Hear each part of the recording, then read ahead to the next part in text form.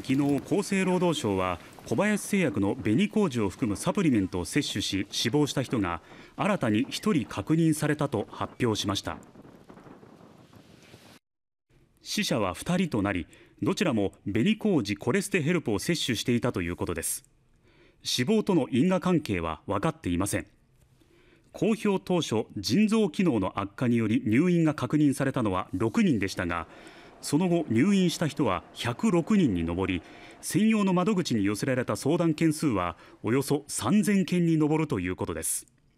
日ごとに増える健康被害に関する報告。サプリメントを3ヶ月間毎日摂取していたという女性は健康診断で LDL コレステロールの値が高くてネットで調べていろんな会社のサプリが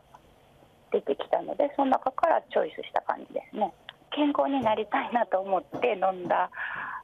サプリで体に逆に害をなすっていうのはまあちょっとびっくりして、今のところ体調に問題はないと言いますが。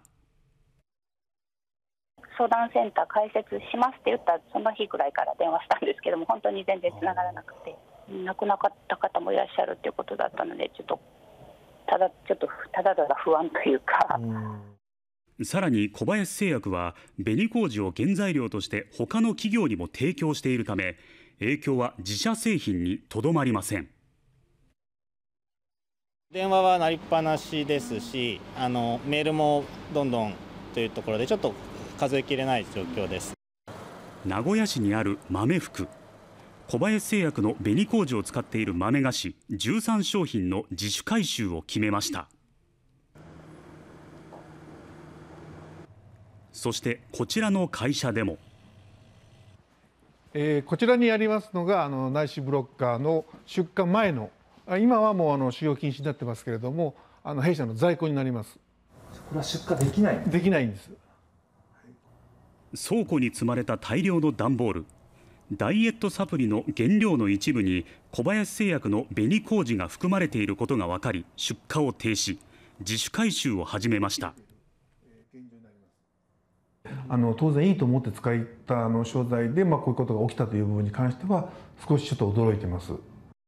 小林製薬から直接の連絡はなく取引先からの問い合わせで事態を把握したといいます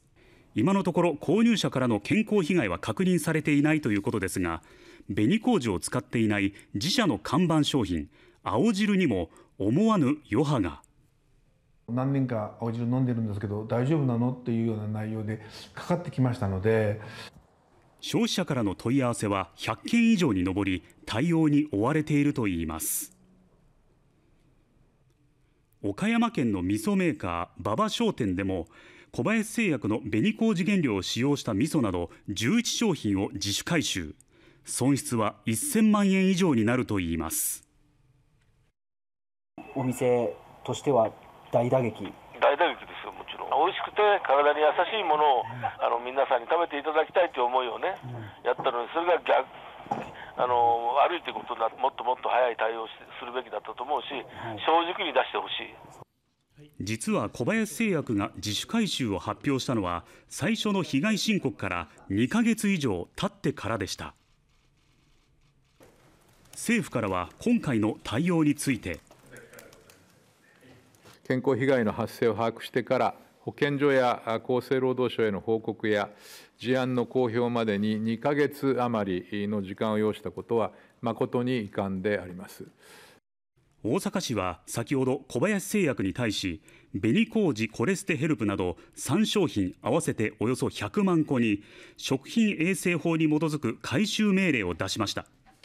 今回の問題被害や影響はどこまで広がるのでしょうか。